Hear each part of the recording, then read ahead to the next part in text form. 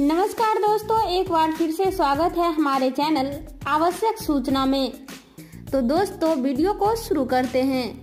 Question number first, मनुष्य का कौन सा अंग 21 साल तक बढ़ता है? उत्तर, मनुष्य की रीढ़ की हड्डी मात्र 21 साल तक ही बढ़ती है।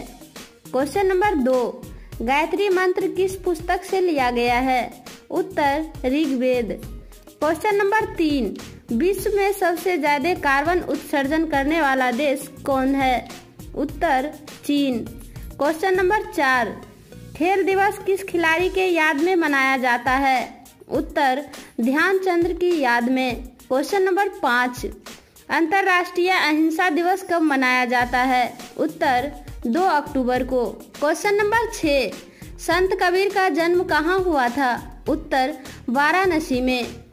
क्वेश्चन नंबर सात, रावण की बेटी का नाम क्या था? उत्तर, सीता। दोस्तों, वीडियो कैसा लगा हमें कमेंट करके ज़रूर बताएँ और हमारे चैनल आवश्यक सूचना को सब्सक्राइब ज़रूर करें। धन्यवाद।